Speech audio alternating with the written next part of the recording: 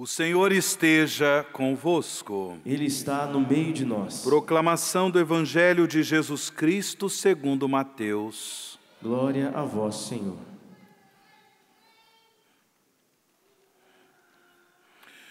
Naquele tempo, disse Jesus aos seus discípulos: Eis que eu vos envio como ovelhas no meio de lobos. Sede, portanto, prudentes como as serpentes e simples como as pombas. Cuidado com os homens, porque eles vos entregarão aos tribunais e vos açoitarão nas suas sinagogas.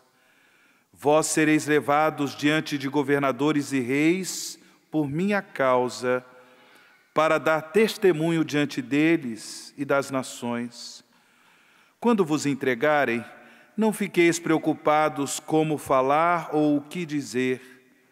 Então, naquele momento, vos será indicado o que deveis dizer. Com efeito, não sereis vós que havereis de falar, mas sim o Espírito do vosso Pai é que falará através de vós. O irmão entregará à morte o próprio irmão, o pai entregará o filho, os filhos se levantarão contra seus pais e os matarão.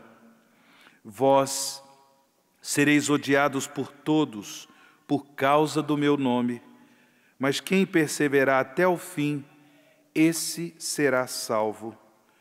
Quando vos perseguirem numa cidade, fugi para outra. Em verdade vos digo, vós não acabareis de percorrer as cidades de Israel antes que venha o Filho do Homem. Palavra da salvação. Glória a vós, Senhor.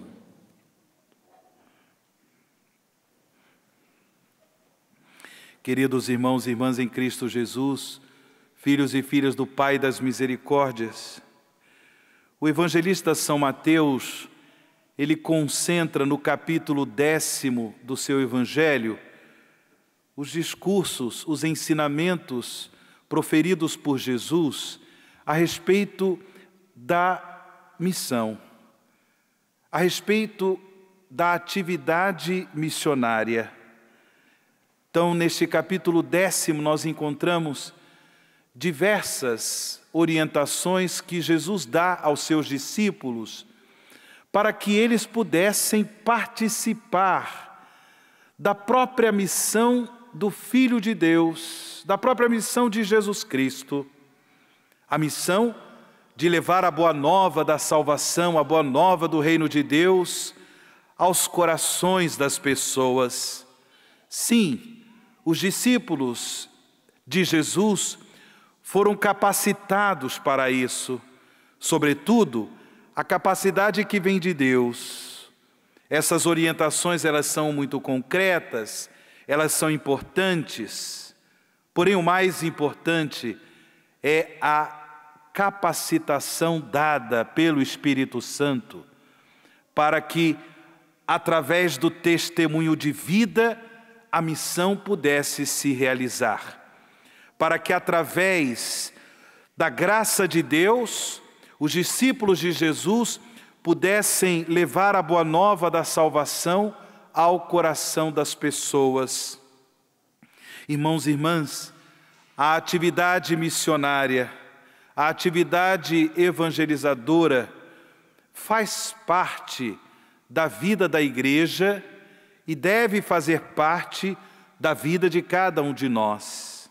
Todo fiel cristão, todo batizado, toda batizada, deve assumir a, o compromisso de participar, de contribuir da missão evangelizadora da igreja, porque também nós recebemos o Espírito do Senhor, que é um espírito missionário, que é um espírito que faz questão de realizar em nós a obra da salvação, de realizar em nós a obra da santificação, mas também esse Espírito, ele nos dá a capacidade de levar às pessoas a graça da vida do reino de Deus.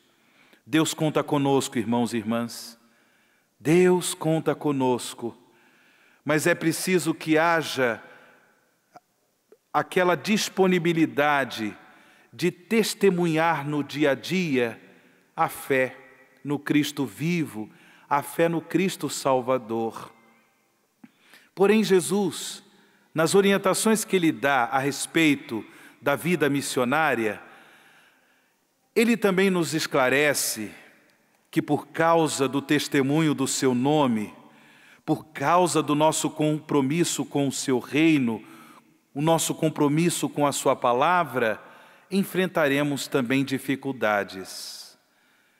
A atividade missionária, a atividade evangelizadora da igreja, não se realiza simplesmente em tempos serenos, em tempos tranquilos. Pelo contrário, por causa do testemunho de Jesus, por causa do testemunho da fé, os discípulos e discípulas de Jesus enfrentam por vezes contrariedades, retaliações, perseguições, se tornam motivo de chacota para muita gente. É preciso ter consciência disso. Participar da missão de Jesus, o Filho de Deus, o primeiro missionário do Pai é Jesus.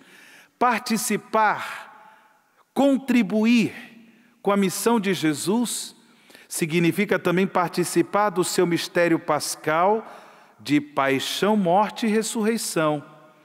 Significa também tomar parte das experiências difíceis vividas por Jesus, quando por vezes foi caluniado, perseguido, motivo de chacotas.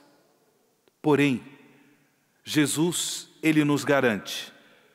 Nessas situações, nós contaremos com a assistência da graça de Deus.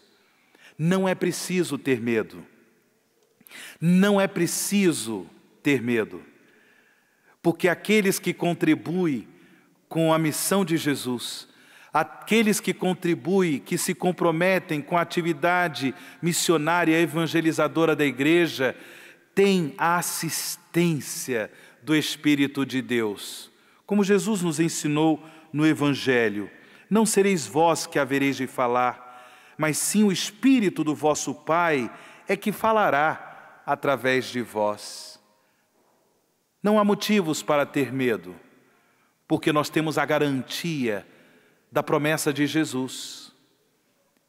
E é interessante que, que ainda nesse discurso que Jesus faz aos seus discípulos sobre a vida missionária, ele diz: quem perseverar até o fim, esse será salvo.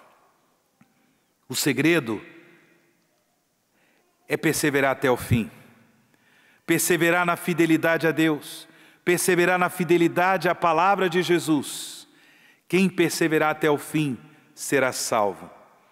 É uma graça que nós pedimos a nosso Senhor nessa Eucaristia, essa perseverança final, essa perseverança até o último momento da nossa vida.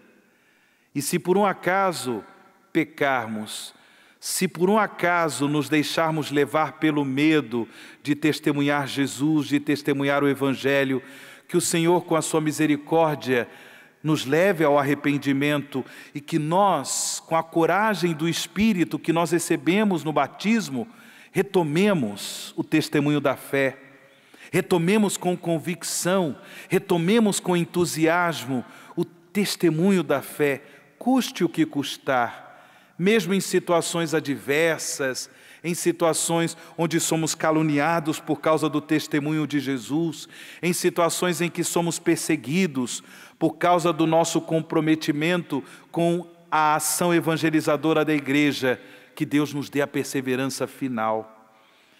É tão bonito contemplarmos o testemunho de Jacó, como nós ouvimos na primeira leitura, nesse trecho do livro do Gênesis.